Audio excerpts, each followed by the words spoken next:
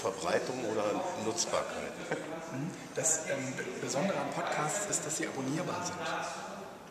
Das heißt, ähm, ich, ich, kann mir in der Regel, äh, kommen die Inhalte, wenn ich die abonniert habe, automatisiert zu mir. Äh, wenn ich beispielsweise, das ist, das ist eigentlich das Podcasten. Ja? Das andere ist nur eine Audioaufnahme ins Internet werfen. Mhm.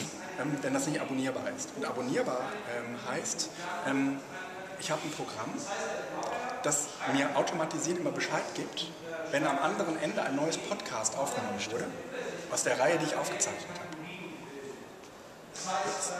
Und nur dann nennt man das auch so. Mhm. Ja, gut, dann frage ich nochmal.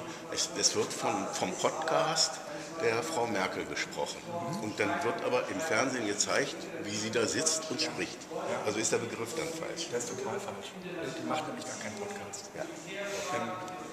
Das ist so ein bisschen, ist so ein bisschen verschwommen, aber eigentlich, ein, genau, genau. Sie macht eigentlich einen Videopodcast. Ja. Mhm. Das, das, zumindest das müsste man sagen. Aber ein Podcast ist eigentlich normalerweise reiner Ton. Ja.